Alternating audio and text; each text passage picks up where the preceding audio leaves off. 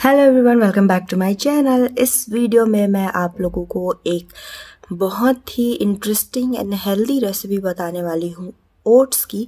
सो so, मसाला oats जो हम market में खाते हैं उससे ज़्यादा अच्छा टेस्ट आएगा आपको। मैं इसमें आपको कुछ अच्छे अच्छे अलग अलग तरीके के इसमें टेस्ट वाले इंग्रेडिएंट्स डालना बताऊँगी। सो so, कुछ इंग्रेडिएंट्स हम पहले डालेंगे कुछ इंग्रेडिएंट्स बीच में डालेंगे कुछ बाद में डालेंगे। सो so, प्लीज़ आप वीडियो सॉरी अभी थोड़ी सी सर्दी है मौसम का असर। सो so, प्लीज़ आप वीडियो लास्ट तक ज़रूर देखिएगा और uh, मुझे कमेंट करके बताइएगा कि आपको ये रेसिपी कैसी लगी घर पे ट्राई करके खा के ज़रूर बताइएगा। बहुत ही अच्छी है। वैसे तो मसाला ओट्स जो मार्केट में मिलता है, वो डाइट में लेने से मना किया जाता है, क्योंकि उसमें कुछ प्रिजर्वेटिव्स होते हैं। सो ये मसाला ओट्स आज हम घर पे ही बना लेते हैं। सो चलिए वीडियो स्टार्ट करते हैं।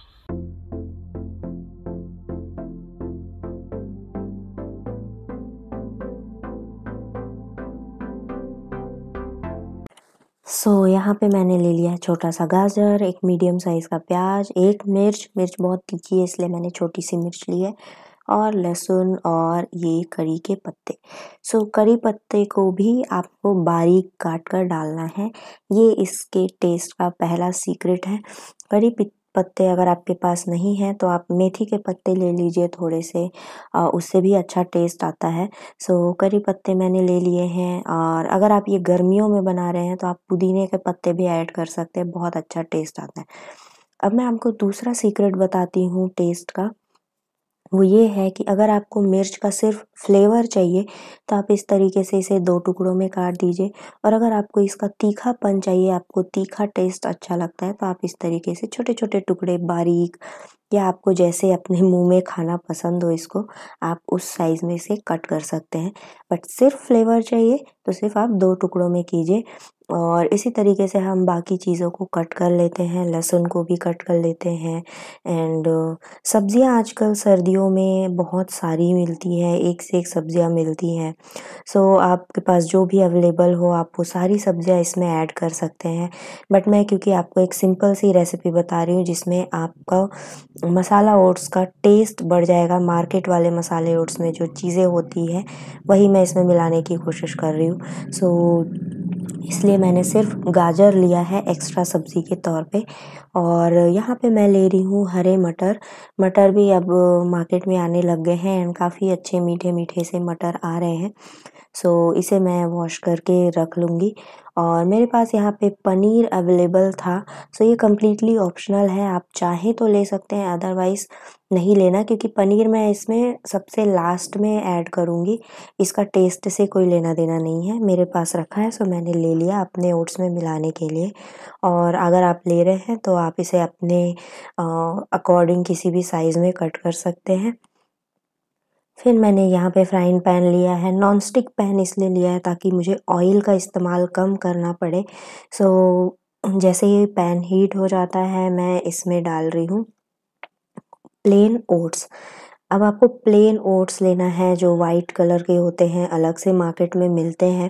पतंजलि के मिल जाते हैं केलॉक्स के मिल जाते हैं क्वेकर के मिल जाते हैं सफोला बहुत सारे ओट्स मार्केट में अवेलेबल है। अगर आपको ना मिल रहे हो तो मैं नीचे अमेज़ोन की लिंक दे दूँगी। आप अमेज़ोन से भी मंगवा सकते हैं।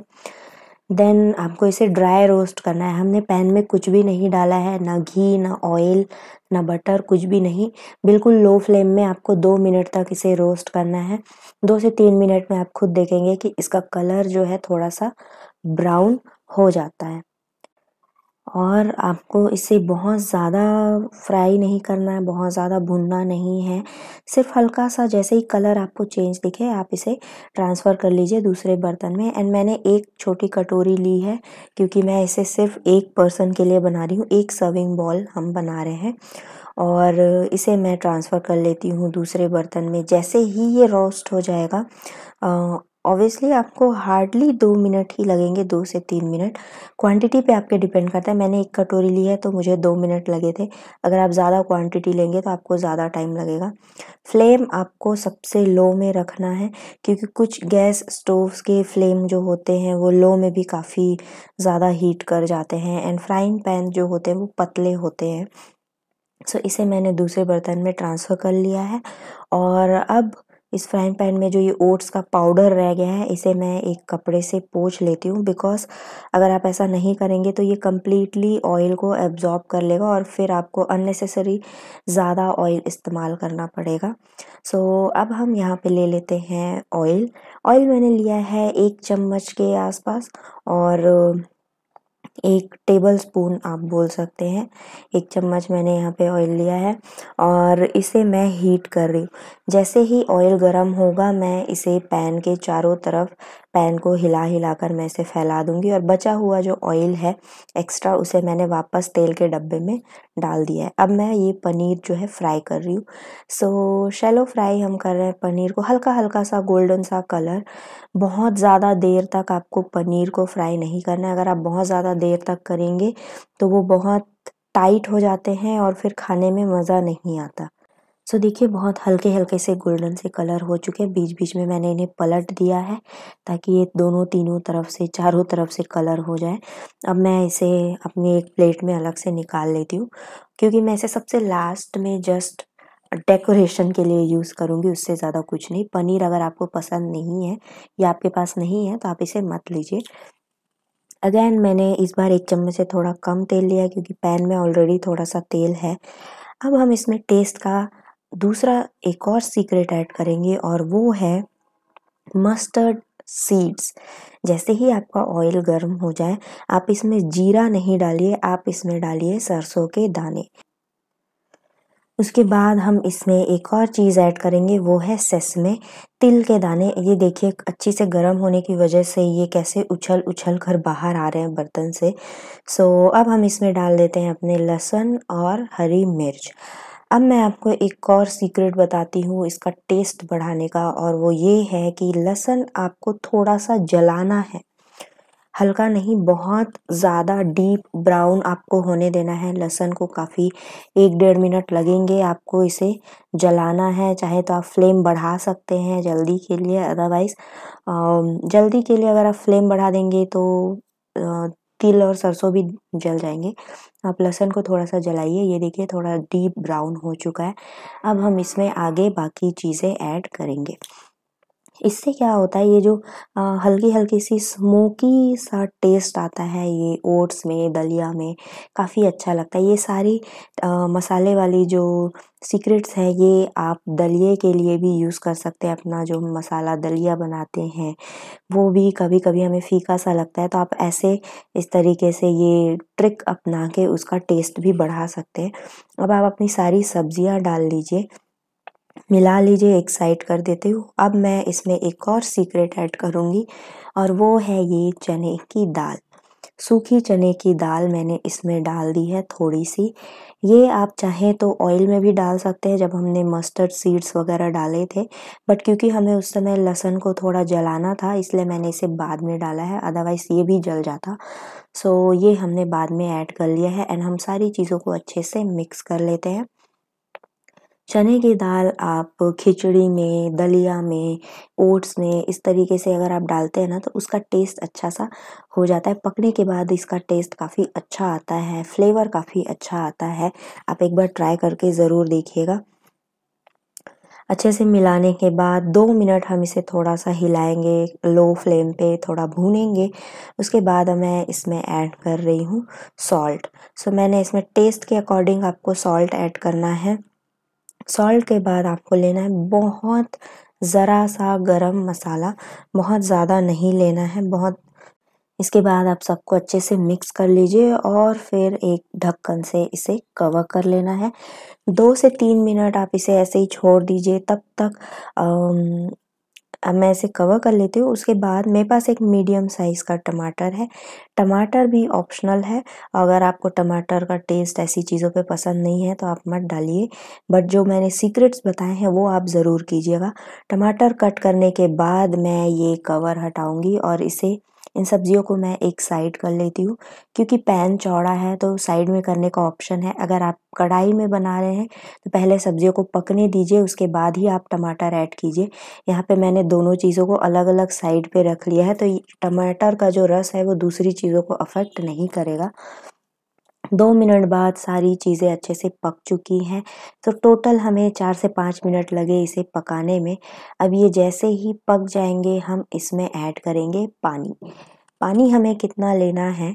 जितना आपने ओट्स लिया है, उसका तीन गुना आपको पानी डालना है। सो मैंने यहाँ पे एक कटोरी ओट्स ली थी सो उसी कटोरी में मैं तीन कटोरी पानी ऐड कर रही हूँ। यस तीन गुना आपको लेना है तो आपको एकदम राइट कंसिस्टेंसी का ओट्स या उपमा भी अगर आप बनाते हैं तो वैसे ही किया कीजिए। दलिया में भी तीन गुना पानी आप डालिए, बहुत अच्छे से अच्छी कंसिस्टेंसी बन जाती है, जैसा कि आपको खाने में मज़ा आएगा। फ्लेम मैंने बढ़ा दिया है और अब मैं वेट कर रही हूँ कि इसमें बॉईल आ जाए फटाफट से। ओट्स मैंने अभी नहीं डाले हैं। अगर आप पहले ही ठंडे पानी में ओट्स डाल देंगे तो वो, जो रोस्ट किया हुआ है वो फ्लेवर चला जाएगा उसका। इसलिए मैंने यहाँ पे ओट्स को बाद में डालना है और फ्लेम बढ़ा दिया। देखिए धीरे धीरे इसमें बॉईल आ रहा है, ये उबलना शुरू हो रहा है। जैसे ही ये उबलने लगेगा, अभी ये उबलना शुरू हो रहा है। आप थोड़ा सा हिला दीजिए। जब ये उबलना मतलब अच्छे से उबलने ही लग जाएगा। फ्लेम हाई है, तब हम फ्लेम को लो कर देंगे। उबलना शुरू होने के बाद आपको फ्लेम को लो कर देना है, ओके? तेज़ फ्लेम में आपको ओट्स नहीं मिलाना है। फ्लेम मैंने लो कर दिया है और अब मैं इसमें अपना ओट्स डाल देती हूँ। जो हमने रोस्ट करके साइड में रखा हुआ था, वो मैं इसमें मिला रही हूँ। एक कटोरी ओट्स में आप कंप्लीटली अपना लंच कर सकते हैं। ब्रेकफास्ट के फुल पेट, भर पेट आप खा सकते हैं, इतना बन जाता है। तो अगर आप थोड़ा सा नाश्ते के लिए बनाना चाहते हैं तो आधी कटोरी लीजिए थोड़ा सा लीजिए। और अगर आप भर पेट खाना चाहते हैं तो आप एक कटोरी ले सकते हैं। मैं ये ब्रेकफास्ट के टाइम के लिए बना रही हूँ अपने लिए तो मैंने एक कटोरी ली थी। अब देखिए तीन चार मिनट बाद मैंने ढक्कन हटाया है और ये कम्प्लीटली पक चुका है और मैंने फ्लेम बंद कर दिया है। क्योंकि कम्प्लीटली पकने के बाद ये चिपकने लगता है। अगर आपको डाउट हो तो हर आप हर दो से तीन मिनट में इसे चेक कर सकते हैं। हार्डली तीन से चार मिनट में ये पक ही जाता है क्योंकि वाटर हमने पहले से बॉईल कर लिया था। बॉईल होने के बाद ही हमने उसमें ओट्स मिलाया था इसलिए ये जल्दी पक जाएगा। सो so, इसे मैंने सर्व कर लिया है और अब हम इसमें डालेंगे हरा धनिया। अगेन ये एक सीक्रेट है ताज़े धनिए के पत्ते आप डाल लीजिए। अगर आपके पास नहीं है तो पुदीने के पत्ते डाल लीजिए, वो भी नहीं है। तो सूखे धनिए के जो दाने होते हैं, उसे आप क्रश करके डाल दीजिए। इससे आपके ओट्स का टेस्ट अच्छा सा बढ़ जाएगा। और अगर ये भी नहीं है तो आप पिज़्ज़ा के साथ जो ऑर्गेनो का पैकेट मिलता है मार्केट में अलग से ऑर्गेनो मिलता है आप वो डाल सकते हैं। सो so, यहाँ हमारा ओट्स मसाला ओट्स रेडी है। हल्दी मैंने नहीं डाली है इसलिए ऐसा कलर है मुझे ऐसा ही पसंद है। आप चाहे तो हल्दी डाल सकते हैं उसकी वजह से इसका कलर बिल्कुल खिचड़ी की तरह पीला पीला सा हो जाएगा।